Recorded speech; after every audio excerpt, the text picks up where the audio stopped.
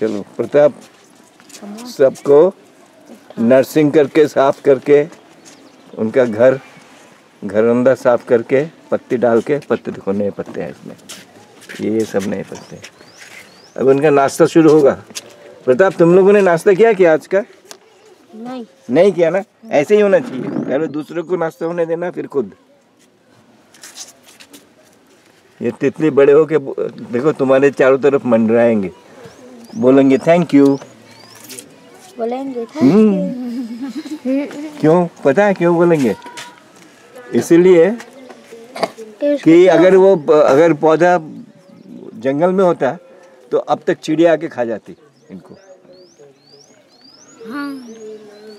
तो बच गया ना? हमने बचा दिया उनको तो इसीलिए वो जब उड़ेंगे तो तो थैंक यू बोलना ही पड़ेगा उसको। ये हो गया? चलो, अब तुम्हारे इसमें, ये तो साफ़ सुथरा है ही। पत्ते भी हैं। ठीक है? रहने दो, फिर उसको अंदर लगा दो, इस डब्बे को।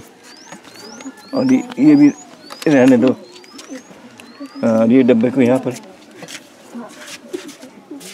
हाँ इस डब्बे को भी रख दो। ये तुम्हारे लिए हुए है ना, प्रताप? चलो, डाल दो। उसको अंदर रख दो।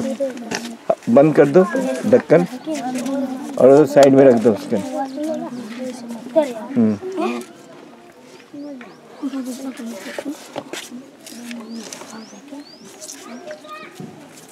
हो गया? चलो अब ये यहाँ ये ये साफ़ करके हाँ। ढक दो और इसी इसी टेबल पे रख दो हाँ। इसी टेबल पर सब देखने आएँगे। नुमाइश हो जाएगा ना इसका भी। वो वो का, कागज़ भी ले जाओ। हवा इधर लगते हैं। हाँ। कागज़ उसके नीचे हाँ। हवा अंदर जाती है वैसे। उसके। ठीक है। और ये ये मेरे टेबल इधर टेबल पर रख देना। इसी टेबल पर हाँ। बस हो गया? सर सीख गए ना कैसे करना पड़ता है? हाँ अब अब जब अपने घर में जाओगे तो तुम लोग खुद ही करना ये सब। ठीक है?